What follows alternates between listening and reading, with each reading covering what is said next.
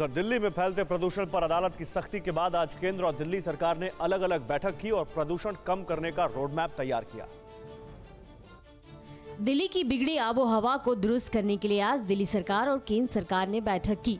दिल्ली के पर्यावरण मंत्री गोपाल राय वायु गुणवत्ता प्रबंधन आयोग की बैठक में शामिल हुए और बताया कि सरकार ने दिल्ली एनसीआर में वर्क फ्रॉम होम नीति लागू करने और कुछ उद्योगों को बंद करने का सुझाव दिया है। नहीं, दिल्ली के अंदर तो हमने अभी कंस्ट्रक्शन साइट सारे बंद कर दिए हैं।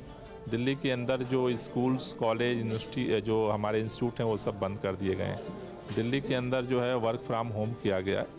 तो हम लोगों का प्रस्ताव ये कि भाई इसे और एनसीआर में इसको लागू किया जाए। इधर दिल्ली में ही पर्यावरण राज्य मंत्री अश्वनी चौबे ने इस मुद्दे पर मंथन किया और बताया कि केंद्र सरकार प्रदूषण की मॉनिटरिंग कर रही है। सरकार स्वयं गंभीर है और भारत सरकार ने दिल्ली सरकार अन्य राज्य सरकारों को हमने समन्वय स्थापित करके और चाहे वो जो भी समस्याएँ हों पर्यावरण को कैसे शुद्ध करें ताकि दिल्ली के लोग यहाँ करोड़ों लोगों को और देश के लोगों को राहत मिल सके। इससे पहले सुप्रीम कोर्ट ने केंद्र और दिल्ली सरकार को प्रदूषण के मामले में फटकार लगाई थी। अब दोनों सरकारों को कल अदालत के सामने अपना प्लान बताना है। परवाह देश की। सोमवार से शुक्रवार रात 10 बजे टीवी 9 भारतवर्ष पर।